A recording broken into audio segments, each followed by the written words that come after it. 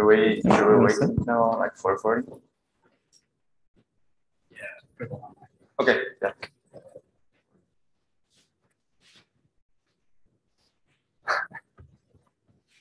Um.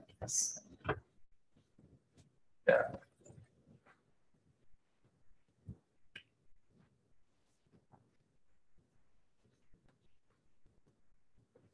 Can I connect the phone? Yes. Okay, yes. And the audio should be fine, right? Okay. Should I move? Okay.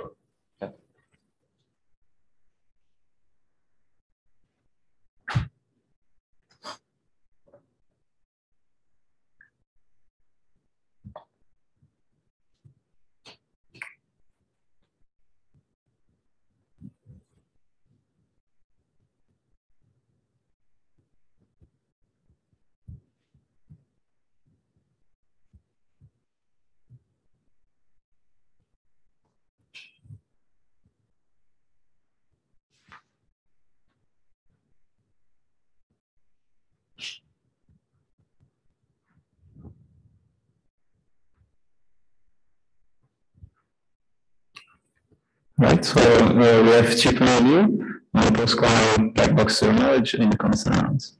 Okay, yeah. Uh, thank Andrew, for the introduction. So, um, in this talk, I will uh, talk about post uh, quantum, uh, post-quantum black box zero knowledge in constant rounds. There are uh, three keywords. One is uh, post-quantum, as usual. This is a quantum uh, information conference, and the other two is black box and constant rounds. And I will explain why they're important and uh, what its results are relevant to uh, black box and constant rounds.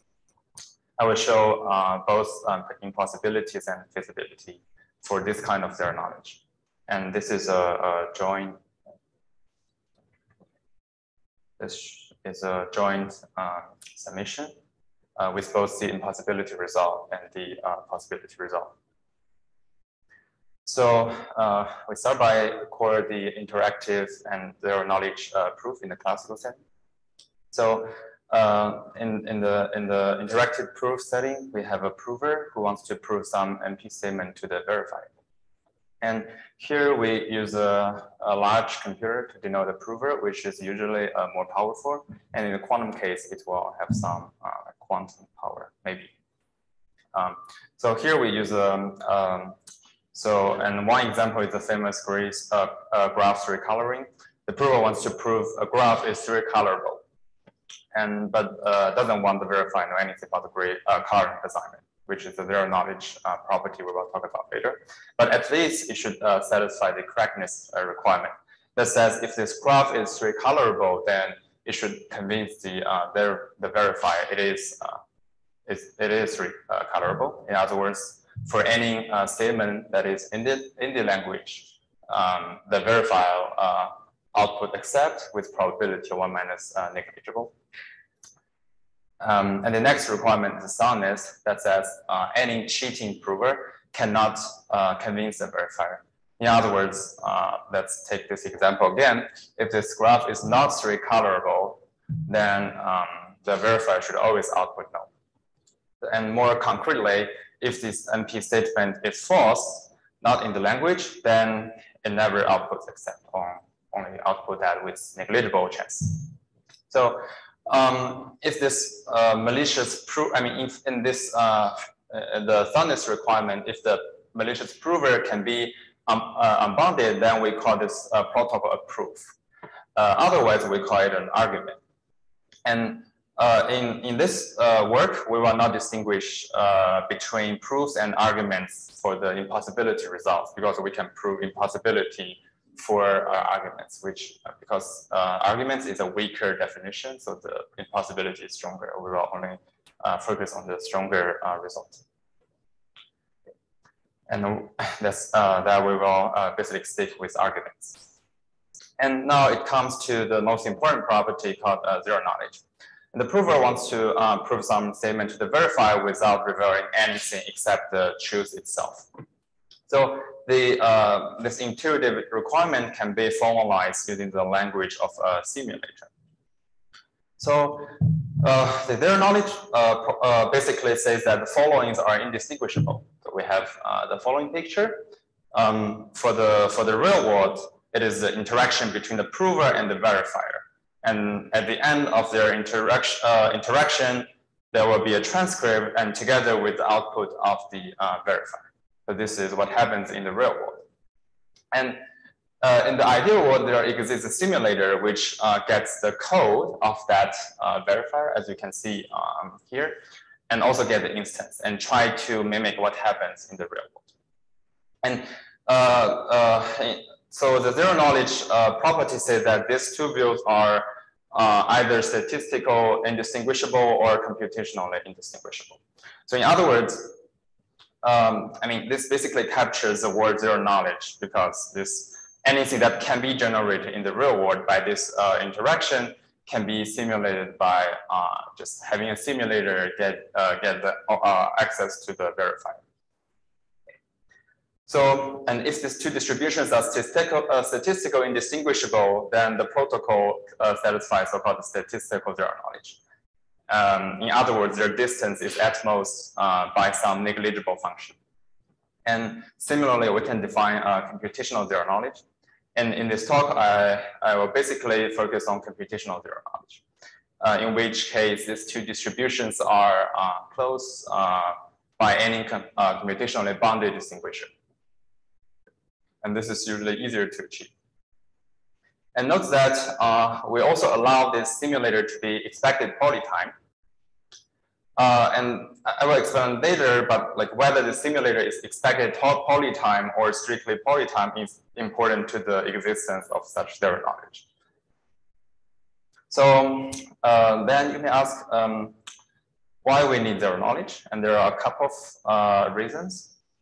So First, it gives like many applications like identification, and also there are many uh, important property uh, like applications in blockchains. And also it contributes to uh, other fields of uh, TCS.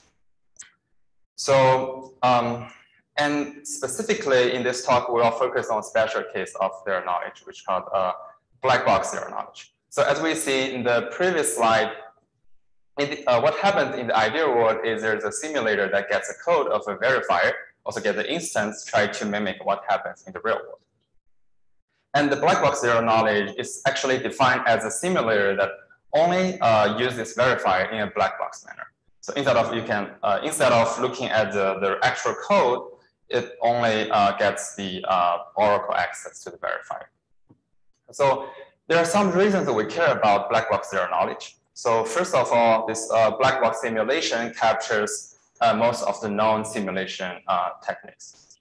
And moreover, um, most of the known zero knowledge protocol with non-black box uh, simulation usually requires very artificial constructions, like, uh, for example, running homomorphic encryption or some circuit, and are usually uh, less efficient.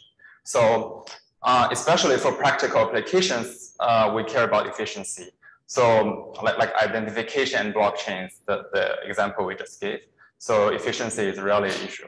So that's why we, um, that's another reason we care about black box zero knowledge. So uh, we know that the black box zero knowledge captures the, the natural class of uh, zero knowledge. So we believe it is interesting to understand what we can achieve and we, what we cannot uh, for black box zero knowledge. And that's the first keyword, black box. Um, and the, uh, the second keyword is the uh, constant rounds. So um, this is basically another important measure of uh, zero knowledge protocol or interact like all this interactive protocol. So this is basically uh, the number of uh, uh the, the rounds this, uh, of this protocol. And, and it's very uh, intuitive. The fewer rounds usually means more efficient protocols and give you more flexibility to constructing other protocols or primitives based on the existing interactive protocol. So in this work, we will uh, particularly focus on the, the constant round uh, interactive protocol. Okay. So that's the two key measures of zero knowledge. Um, okay, so let's um, briefly uh, review what we know for the classical zero knowledge for NP. So here we basically only focus on uh. So uh, what we first know is in 1980, 1986, the first, uh, the first construction of zero knowledge for NP was given by Goldreich, Micali, and Wigderson. So they give uh, zero knowledge uh, with polynomial Manning rounds. After that, there have been uh, many works on uh, reducing the round complexity of uh, zero knowledge for NP. And all these protocols requires uh, expected polynomial time simulator to achieve zero knowledge. And one may ask, um, if that is uh, possible to construct their knowledge with only uh, strict polynom uh, polynomial time simulator. And you may ask why uh, does that matter? And there actually there's a couple of issues with expected uh, polytime. Uh, for example, um, it is not that friendly for doing reduction in some cases. And even more, this expect, expected poly time, they do not compose very well. So um, therefore, people may uh, wonder like if that's possible, we can get a, a constant round uh, zero knowledge, a black box zero knowledge with only strict polynomial time simulator. So, and indeed, um, Barak and Lindell, they show that there's a, like an inherent barrier. They show that there does not exist a constant round black box zero knowledge for NP with only uh, strict polynomial time simulator, unless NP is in, uh, in BPP. So this lemma says, uh, if you want to achieve constant round zero knowledge, then um, either non-black box simulation techniques is required, or uh, you need expected polytime simulation. So that's the uh, result for classical, what we know for classical zero knowledge, uh, black box zero, zero knowledge. And uh, our impossibility result is inspired from this result, and we will explain that at the very end. That's the reason I one mention this uh, classical result. Okay. So, and that's um, what we, what I want to mention for classical zero knowledge for NP.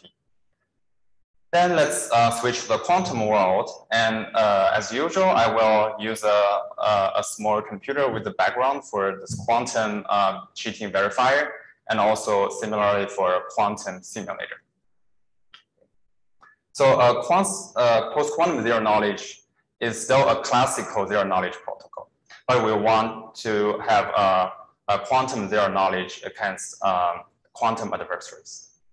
So that means uh, both the honest prover and the verifier are, uh, still classical. If everything is uh, executed in an honest way, everything will be classical. But we need to uh, consider what happens if this uh, cheating verifier want to learn something from the uh, from the interaction, and this cheating verifier will be modeled as a, as a quantum machine. And in this talk, we will uh, simply focus on zero knowledge and the correctness and soundness uh, will be uh, similarly defined, but will be uh, easy to achieve. So we ignore for now. So for quantum zero knowledge, uh, we want to capture the, the following idea. That is, no quantum malicious verifier can learn anything other than the truth itself. Therefore, we define uh, just like what we define in the classical setting. There's two pictures. Uh, on the left side, it is the real world. That is, there's a classical uh, prover classically interact with a quantum cheating verifier. And at the end of the day, they output all the classical transcript, which is their interaction, together with some quantum output that is outputted by the uh, quantum verifier. And on the other side is it, it uh, this is the ideal world, well, this uh, quantum simulator is, uh, okay, so here we focus on still the black box setting. So it has quantum access to the uh, quantum uh, verifier. And the end of the day, it outputs all the classical transcript together with another quantum state. And, and we want to, uh, so the, the post-quantum zero knowledge, knowledge basically say these two views are either statistically close or um, computationally close. So, and because we already know that uh, there are many classical zero knowledge protocol, one may wonder, uh, maybe constructing a post-quantum zero knowledge is as easy as just constructing a classical zero knowledge plus some um, post-quantum assumptions. But unfortunately, it is not that case. And it's especially because one issue called rewinding issue. So rewinding is a, a common, uh, common technique in the classical proof. That is um, to do the uh, to do the simulator, you usually want to run this verifier up to a certain point, and then you want to rewind the verifier and run that uh, again. So this usually requires you to have a snapshot of the verifier at a certain point, and you can get back to the snapshot and run that again. Okay, so since we uh, talk about snapshot, so you will think about uh, like very similar to this cloning a quantum state or cloning a specific uh, state of the quantum machine. And, and that's the reason why uh, such proof will be problematic in the quantum setting. And, and uh, so, and basically it is impossible to rewind a quantum verifier uh, in general, and otherwise you would violate this no cloning principle. And so, uh, so for this reason, it is often much more difficult to prove zero knowledge uh, in a quantum setting. And, and that's the uh, barrier we're facing. And then let's uh, reveal a couple of uh, results in the, in the quantum uh, world. Here we first reveal the result for the first quantum zero knowledge for NP, that is the work by Watrous. They first, he first showed a black box zero knowledge for NP with polynomial many-rounds he proved that this GMW protocol indeed satisfies uh, post-quantum zero knowledge. However, his technique is not uh, able to prove zero knowledge uh, with only a constant round. And it has been open to construct a constant round uh, post-quantum zero knowledge. And recently, uh, and Shmueli, they showed that a constant round zero knowledge for NP uh, but uh, however, their security proof relies on uh, non-black box simulator technique. And as we see uh, in the discussion of our uh, classical zero knowledge, it, we have like many advantages of black box zero knowledge over non-black box ones. So we asked the following question. Are there constant around uh, post-quantum black box uh, zero knowledge protocols? So, and our results are twofold. The first one is the our uh, main possibility result we show that uh, there does not exist a constant uh, round post-quantum black box zero knowledge for NP, uh, that's NP is in BQP. So this is a strong uh, negative evidence about the existence of uh, constant round post-quantum BB uh, ZK for NP. And also let's record the result, uh, the classical result. That is when the simulator is allowed to be expected polynomial time, then such uh, zero knowledge uh, do exist. So our result actually demonstrate a significant difference between the classical and the post-quantum black box zero knowledge. And uh, furthermore, this uh, even more just justify the use of non-black box simulation in the work by uh, Bitansky and Shmueli. So our work and their work together give a tight characterization of what we can get um, for post-quantum uh, constant round zero knowledge. That is, you can get that from non-black box uh, simulation techniques, but that is impossible to do with only black box uh, extraction or black box simulation techniques.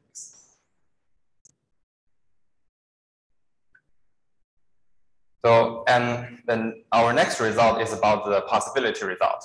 So as we already see, there's strong evidence to get constant round black box zero knowledge. We are still interested in like what we can get. So then we consider a weaker version of zero knowledge called epsilon zero knowledge. So epsilon, epsilon zero knowledge basically says that, um, so re, uh, record like in, in the zero knowledge picture, we have an ideal world and a, a, a real world. So the epsilon zero knowledge says that uh, the distance of the ideal world and the real world, uh, if they are bounded by epsilon, then the simulator can uh, only run in time uh, inverse in one over epsilon uh, in, uh, running in time one over epsilon. So this is like a weaker version of the zero knowledge. So that's the second part of our result. We show that constant round black box epsilon zero knowledge does exist. So we prove a five round protocol by Goldreich Kahan that is uh, post quantum secure by adapting the hash function with collapsing uh, hash function. And we also show a constant round protocol from uh, post-quantum uh, one-way functions. Okay. And you see uh, we have a three-round protocol for, um, for the epsilon zero knowledge. And then using the similar idea, we show that there are no three-round post-quantum uh, black box epsilon zero knowledge. In other words, uh, we know there is protocol uh, for three rounds, but there's no protocol for uh, there are protocol for five rounds, but there's no protocol for three rounds. And recently, by subse- subsequent work by Lombardi, Ma, and Spooner, they show that uh, such four-round protocol does exist. Therefore, it gives like a, a tight uh, characterization of what we can do with uh, black box um, uh, uh, uh, epsilon zero knowledge. Although their model is like slightly stronger than what we define here. So to summarize our results, we first show a constant round post-quantum black box zero knowledge is impossible. And then uh, we relax the definition of zero knowledge by uh, to, to the epsilon zero knowledge, and we show it is uh, indeed possible. Then we show uh, we have a five round post-quantum black box epsilon zero knowledge, but three round is impossible. And the final result is since uh, all the construction here uh, need relies on private coins. So we further justify the requirement of the private coin. So we show that uh, constant round public coin black box epsilon zero knowledge is also impossible. Therefore, if you want to achieve uh, constant round black box epsilon knowledge, you also need to rely on private coins. So the overall picture gives a tight characterization of what we can get for uh, zero knowledge uh, with black box simulation in constant rounds. Um, right. So, uh, how many times? Okay. So let me uh, briefly uh, talk about the, the main uh, techniques, the proof ideas. So let's, let's record the impossibility result on the classical uh, black box zero knowledge with strict polynomial time uh, simulation. The core idea behind that is uh, to consider a verifier that will refuse to execute with some hidden probability. That is, you consider a verifier that every, at every stage it will abort with probability one minus epsilon. Here, the epsilon is the uh, probability that it will uh, answer the, the next response. So uh, then basically to simulate this transcript, to simulate, uh, to, to simulate the transcript, a simulator must uh, rewind at least one over epsilon times uh, to see both the transcript and to learn the aborting probability.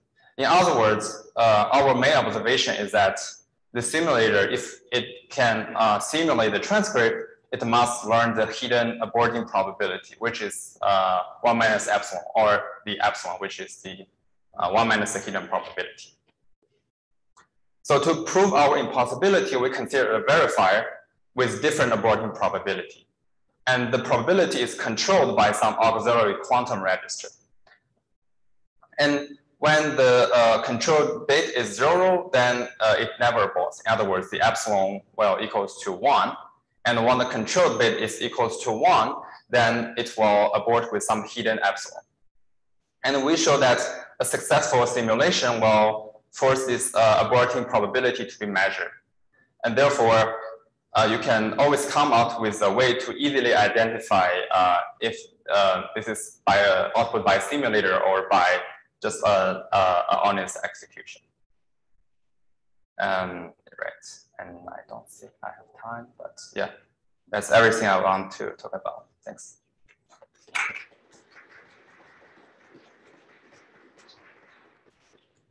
Okay, we have time for some questions.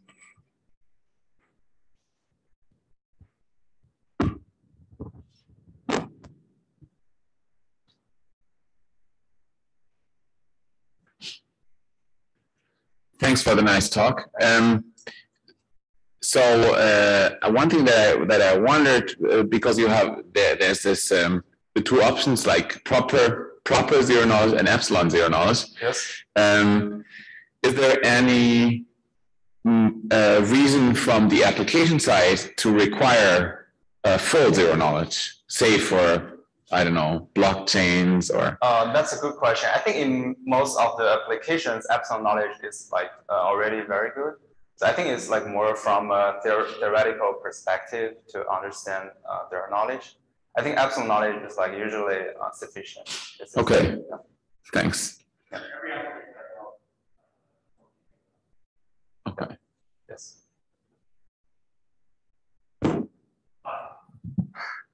I have a quick question. Uh. So, do you have any ideas whether the impossibility holds if you have quantum communication?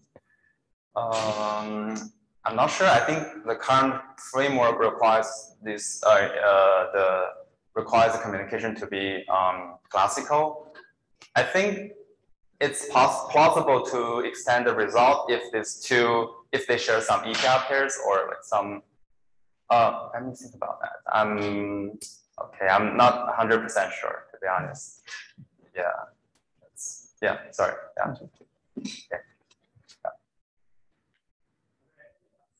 It does. Yes. Um, right.